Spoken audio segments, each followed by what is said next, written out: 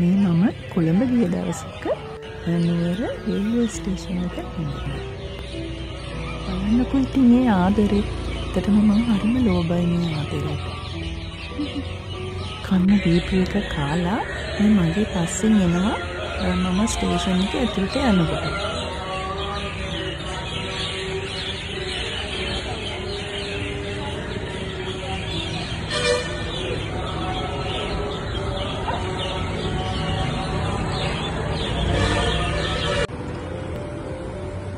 මේ විදිහට කෝච්චියෙන් ඉඳලා මම කොළඹට ආවා. අද මම මේ වීඩියෝ එක කළේ මට මම දැක්කා දාලා තියෙනවා පොඩ්ඩක් මගේ විලාසිතා බලන්න ආසයි කියලා. ඉතින් මේ ඇත්තටම වීඩියෝ කළේ එහෙම දාන්න හිතාගෙන නෙමෙයි. මේ මගේ ෆෝන් එකේ තිබ්බ ෆොටෝස් වගේ වීඩියෝස් ටිකක් මට හිතුණා මේ විදියට අද දාන්න ඕනි කියලා. විලාසිතා කරන්න ලස්සනට ඉන්න පිරිසිදුවට ඉන්න පිළිවෙලට ඉන්න වයස අදාළම නෑ.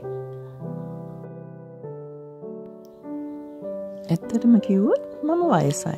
ඒ වුණාට මට ඒක අදාළ නැහැ. මට කවුරුත් මම ගැන හිතන විදිහ ඒව මට අදාළ මම ලස්සනට ඉන්නවනම් මට මාව ලස්සනට පේනවන මම කරන දේ මට ලස්සනයි නම් එච්චරයි.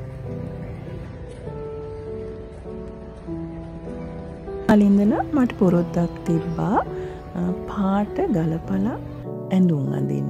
ඇඳුම් විතරක් නෙවේ මොන වැඩේ කළත් මට පුරුද්දක් තිබ්බ පාට ගලපල ලස්සනට ඒ වැඩේ කරන්න. ඒක ඇත්තටම මට මගේ අම්මගෙන් තාත්තගෙන් ලැබිච්ච දෙයක්. ඒක නිසා මේ වෙලාවේ ඒ දෙන්නට ස්තුති කරන්න ඕනේ. මම තරුණ කාලිනා මීට වඩා ටිකක් වැඩිය මේ දේවල් කරා. සාමාන්‍යයෙන් මම බඳින අතේ බඳින ඔරලෝසුව ඒකත් මම බෙල්ට් එක පාට ඒ අනුව ඊට පස්සේ දාන කරාබු දාන මාල ඒවත් ඒ විදිහට දැන්න චුට්ටක් මම ඔරලෝසුවක් මාලයක් කරාබුහෙම ලොකුවට පාවිච්චි කරන්න නැහැ.